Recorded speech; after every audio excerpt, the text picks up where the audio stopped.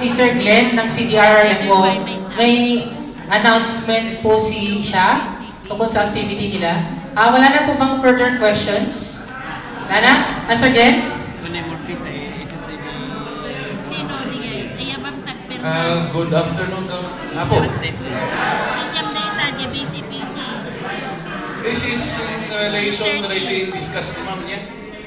But on a very specific, uh, Apo. Ison sa ito lagan yung talikod. Anyway, uh, natin para ni-schedule yung itinay trainings you and for your uh, DRM and contingency planning, amo ka po nating sumabay na activities you with this. But then again, kaan man nga amin nga barangay official si Wood mapaninjay. Yan. So nga ang rason nga ibagayo kinyami nga awan man ti umay. Okay, so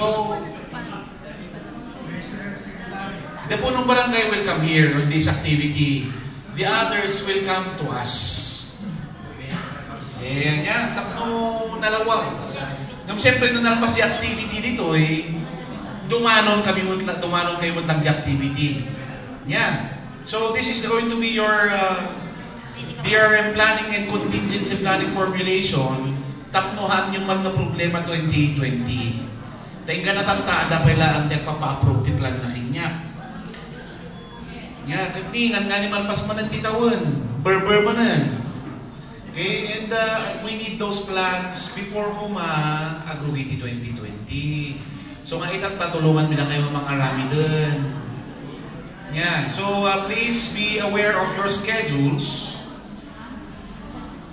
First batch is going to be August 20 to 23. That starts tomorrow.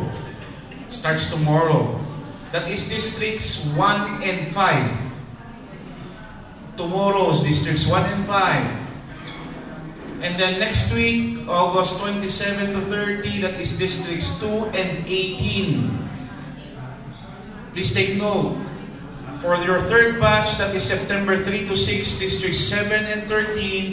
And fourth batch, districts 8 and 20. That is September 10 to 13. Now, sino to umay?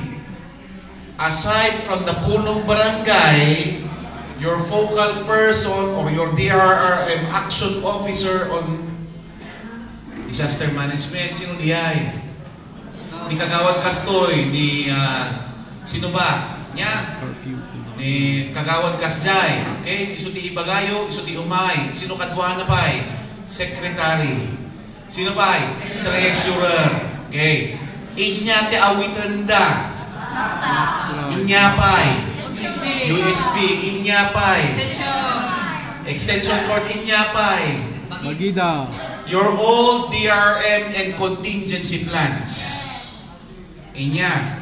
And your inventory, your your your your your um, current inventory, ha? Itinay pati population 1, pati population inventory yung titao. Han lang nga resource, han nga gamit. Inya. So we will start immediately tomorrow. It's going to be one day DRM planning, three days contingency planning. And on the fourth day, dapat ada ti maisubmit yung kinyak na duwa nga plano. By hook or by crook. Yeah? Whether you like it or else, we need to submit two plans. BDRM plan and contingency plan. Yeah? Dahil di standard, awan iti mayaw awan, tapno paparihas tayo. Sir, question, clarification. Actually, sir, when at that invitation, your invitation sa apo, into ko SSD, at JP John Holsio, mabalik yung taga Senyorit Jai. Yan, at Jai amin. Itsin mo nga makita na kay barangay nga updated iso na itinay communications. Itsin mo nga makita na barangay nga haang nga mga alala iti papil na. Yan. So nga, So nga mo, kung sino napunpunod papel na ijay, talaga pag-itlogan di, bilit. Yeah?